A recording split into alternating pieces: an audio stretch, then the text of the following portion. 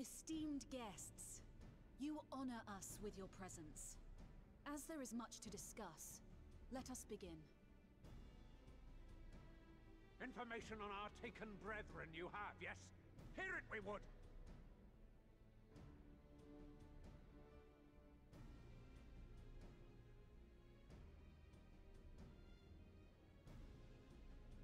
Ah!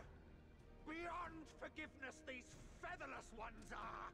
With rivers of blood shall they pay! Freed our people must be! We too would see your kin liberated. But ere we attempt their rescue, we must first find a means to negate the risk of tempering. Without that, we will be unable even to approach the towers, let alone contend with their defenders. If all else fails, I've always found cannonballs quite effective. and what of the prisoners? Would you see them slaughtered? Think for a moment. Ponder, consider, think. If Merlwyb truly intended to bomb... Y'shtola spoke of defenders. I but offered a means to clear a path, should you require it. Given the enemy's capabilities, we will all need to play our part if we are to have any chance of success. For if any here should give less than their best, it will be to the cost of every living being on this star. A paragon, the Empire, our very gods. How can we hope to prevail against such odds? That our foe is formidable, none would deny. But our strengths are many and varied. In this chamber, I see masters of strategy, masters of magic, masters of the land, the air, and the sea. And together, there is nothing in creation we cannot overcome.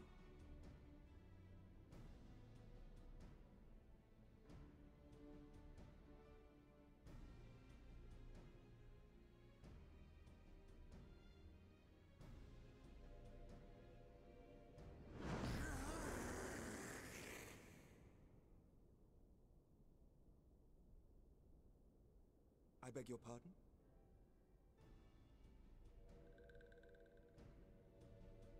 What is it, Sir Walker? Do not express your passion thus. A little city without gills, perhaps? Suffice it to say, I am proud to be counted amongst Eorzea's finest. We Sir Sahagin will play our part. We kobolds have not forgotten the crimes the Overdwellers committed against us in the past. But today we look to the future, as allies united in purpose.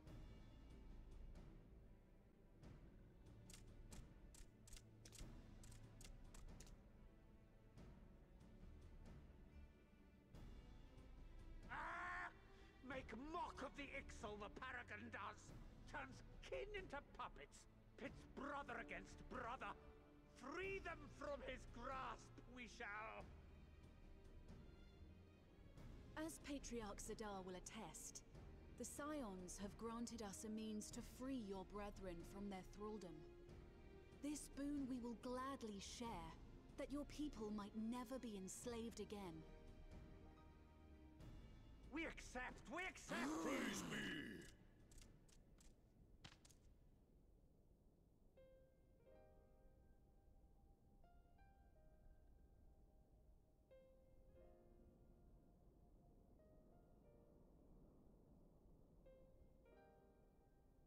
Taken a while, but I do believe we might be one step closer to a world without primals. Would that Minfilia were here to see it. We still have a long way to go, and we're going to need a lot more porxies. But we're moving in the right direction.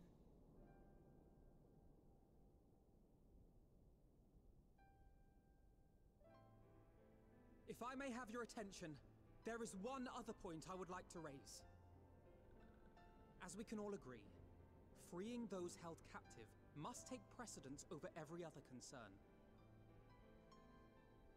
But experience has taught us that none save those with the capacity to resist tempering can hope to enter the towers unscathed.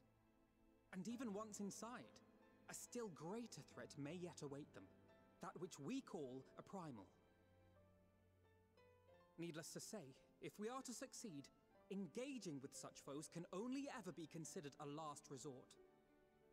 And so I move that we seek to prevent them from being summoned in the first place. Yes! Both prayer and ether are needed for the ritual. Should either one be denied, the summoning would fail. Indeed. And so we must endeavor to discover the source of the ether on which the process depends. Do so, and it may present a way to halt the summonings, or perhaps even neutralize the towers entirely. A promising proposal. While you are conducting your investigations, however, we will need to remain vigilant, lest the Telophoroi commit further abductions and summon primals ere we have the means to prevent them. To stand a better chance of keeping our enemy at bay, we would do well to coordinate our defensive efforts, sending reinforcements to assist our neighbors when needed. We, Amalj'aa, would have been overwhelmed were it not for our newfound allies. But say the word, and we shall come.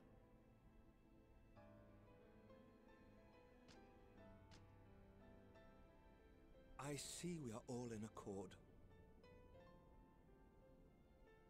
But what are we to call this proud fellowship of ours? I submit that the honor of naming it should go to the scion whose brave efforts have done so much to unite Eorzea. What say you, my friend?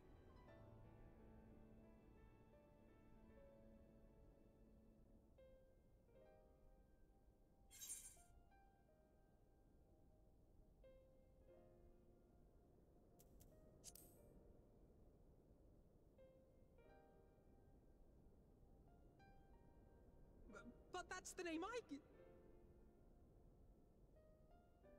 A fine choice, for there is none here who does not love Eorzea. Aye, in that we shall ever be united. United in our gratitude for the realm that gave us life.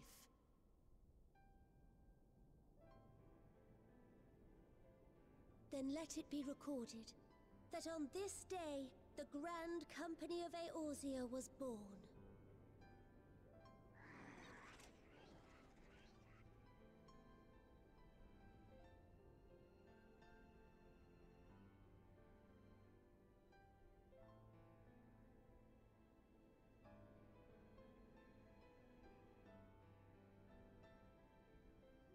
How long have we dreamed of this moment?